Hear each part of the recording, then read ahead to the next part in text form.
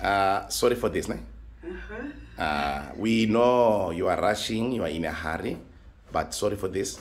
Uh, Mutlahabo bana the homework, they must record a clip with their role models, and then uh, she chose you as her role model. Uh, Mutlahabo, explain them to mommy uh, what is this all about. Okay, man. At school, they said we must make a clip with our role models, and so I choose you as my role model. You chose me. Yes, I did. Thank you, my baby. Welcome. Uh, if if if you guys are ready, I can start to roll the video.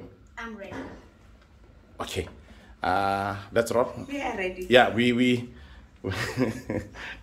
I know Radonna role model. all the time. You're so happy. No more Ariana Grande.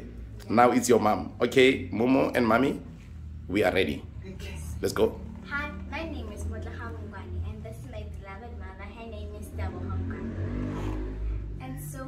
Choose my mother as my role model because she's brave and she's kind, she's humble.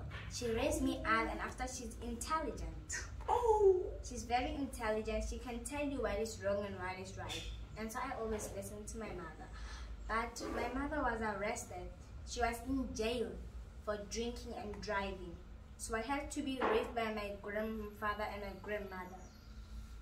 Who was who was in jail? You were in jail for drinking and driving.